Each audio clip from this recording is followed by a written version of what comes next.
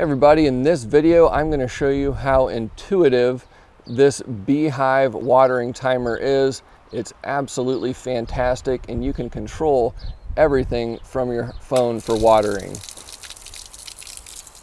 Now, the first thing you're gonna wanna do is download the app on your phone. It's really easy to set up, only takes a couple of minutes to download the app and connect it to the smart Wi-Fi B-hyve. The main unit here runs on two AA batteries. It's really easy. You just pull this out, put the batteries in, push it back in. Note that there are two key pieces to this unit. Uh, you have the watering timer, but then you have the smart hub also. So you're gonna plug the smart hub into an outlet and that is gonna communicate with the watering timer. So you'll connect this to your phone essentially, and then this communicates with the watering timer. The cool thing is this also works as an extender. So here I'm out in my garage and my router's all the way on the other side of my house and then my hose is all the way further yet away from the router. So it's great because this extends that signal, uh, which will give me a strong signal all the way out by my water hydrant. Here we are out by my garden and water hydrant, and I'm gonna show you how this works with the app. Here I have the app pulled up, and I apologize if you can't see this. It's kind of bright out here. I'm gonna give you a basic rundown of the functions. Uh, th there is a manual water function, so here I am on my app, and I want to water it manually. So I'm gonna override what I have set up now, and I'm just gonna water this for one minute. So then I just hit the play button, and you'll watch this turn on now.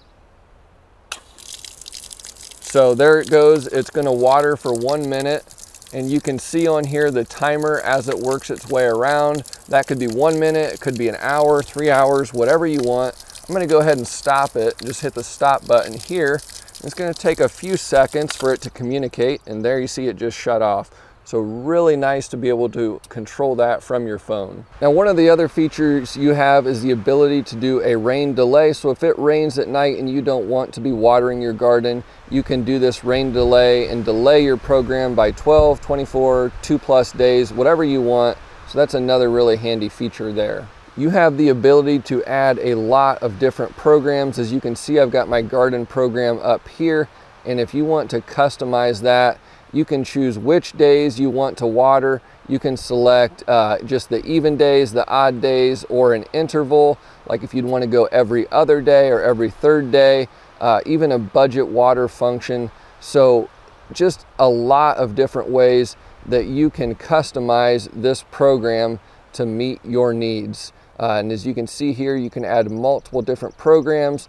You can connect multiple different timers it just has a lot of different functions. There is also even a smart watering function where this will connect to your local weather and it will automatically water as needed based on the precipitation that you're getting in your area. So I hope you guys have found this review helpful. This thing is truly very responsive and it works really well. I would highly recommend it. Um, just gives you a ton of control and a really smart functionality